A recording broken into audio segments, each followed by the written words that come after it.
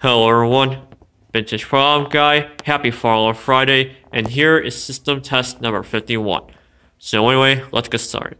So, for the theme of today's system test, as you can probably tell from the thumbnail of this video, uh, we're going to be doing kind of like a, a retrofit, I guess you can also say it's like a like a replacement kind of setup. Um, so this is going to be like like a setup like for in like some situations, like if an old horn on top of an old strobe plate or light plate uh, ever dies and the horn actually needs to get replaced. So that's kind of what you're um, going to be seeing for the system test today. So, I know I did mention it in my last video. I was going to do the Burke about electronic 4 3, but I decided I wanted to do something a little bit more interesting today uh, for the theme of the system test. So, yep. So I guess without further ado, I guess let's get started with the devices on the system.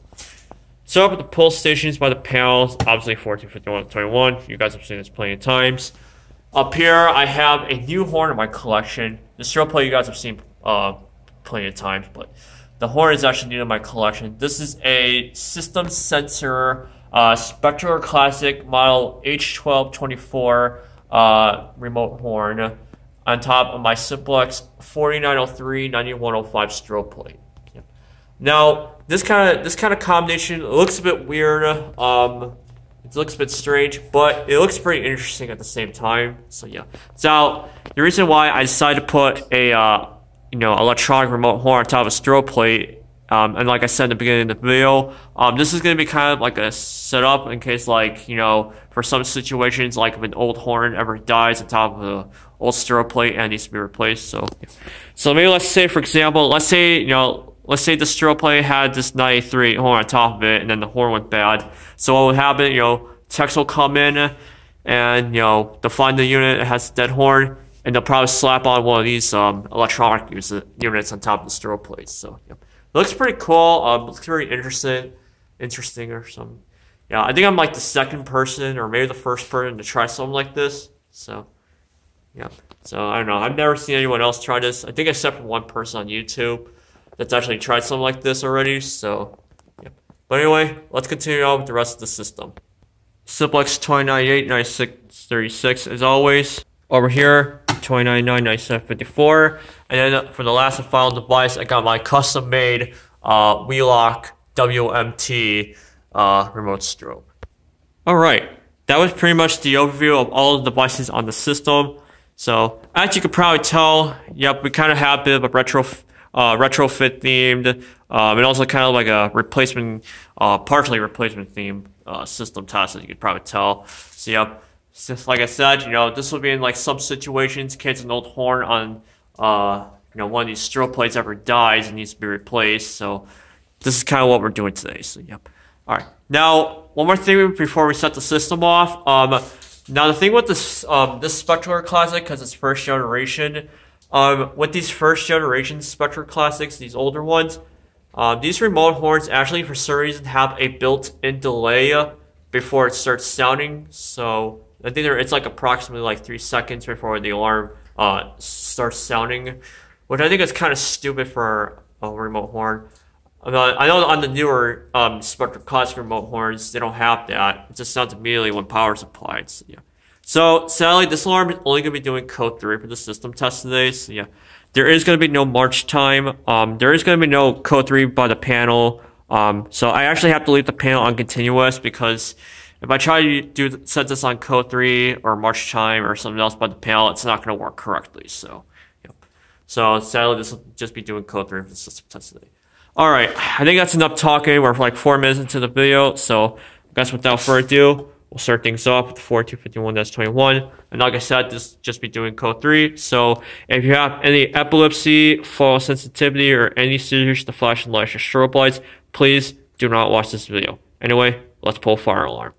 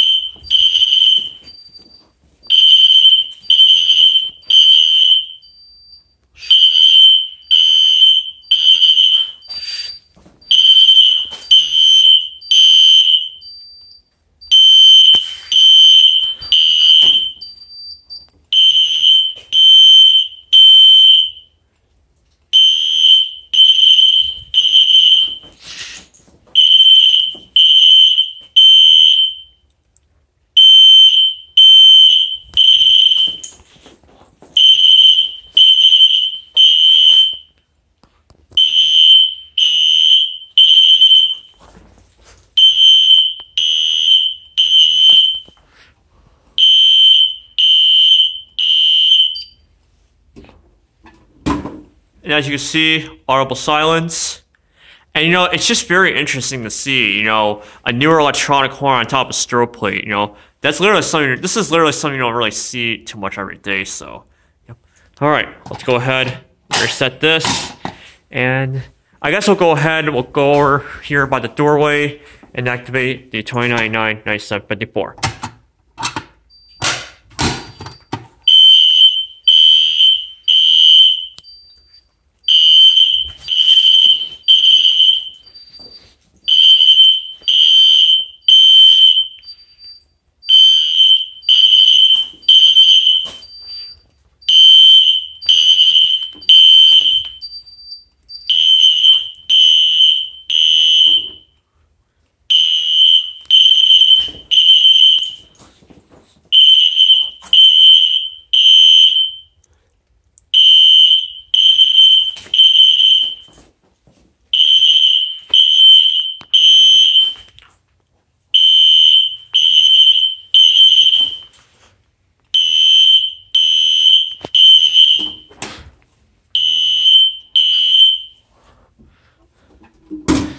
Pretty loud alarm, but yeah, I mean, yeah, it's a Spectre word, so what do you expect?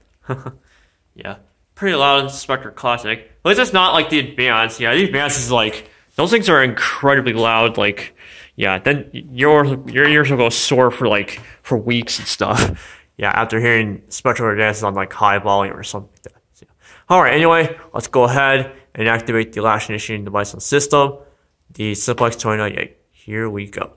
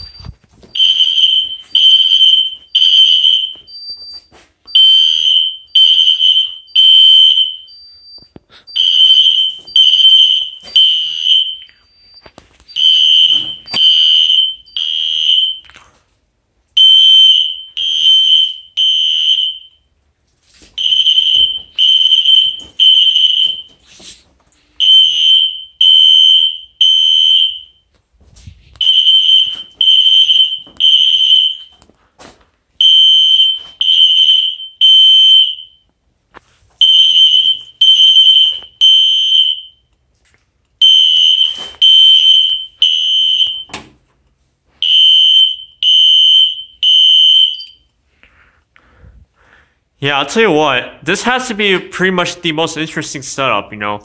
Yeah, like I said. To be honest, you know, yeah. That's pretty much what happened. happen. You know, an old horn on top of one of these strobe plates ever die. Yep, gets replaced with an electronic one. So, yeah. Alright, anyway, let's go ahead and reset the panel. And that'll be pretty much it for the video.